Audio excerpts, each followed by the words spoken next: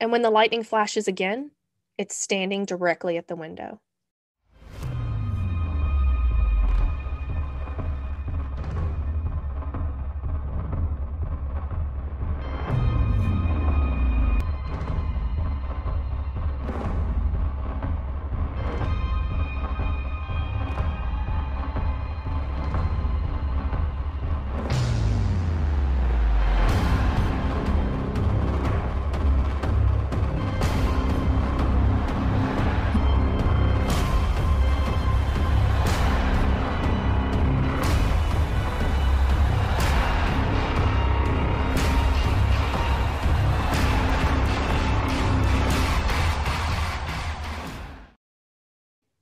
Today's Nite Terrors episode is called Close Encounters of the Wrong Kind.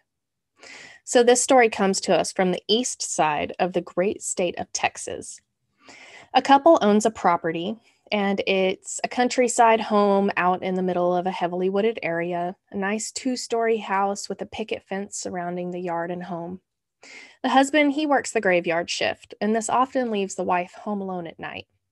So one evening, the husband's working, and the wife finishes up dinner and she looks out the window and notices that there's a storm rolling in quite rapidly.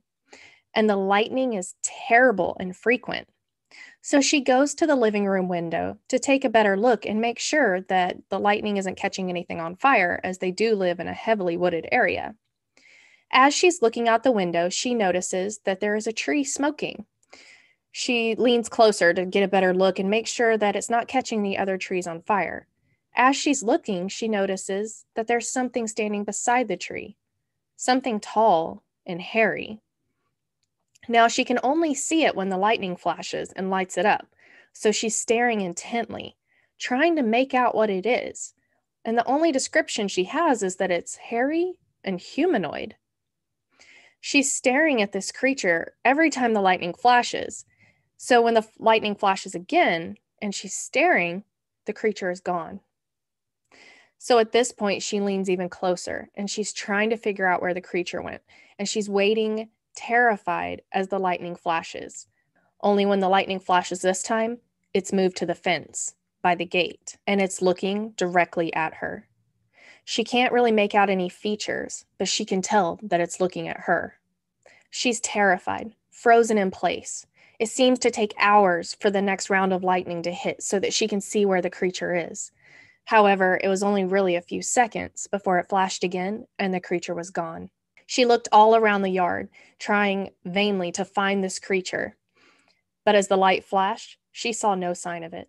She leans back, perplexed and a little terrified.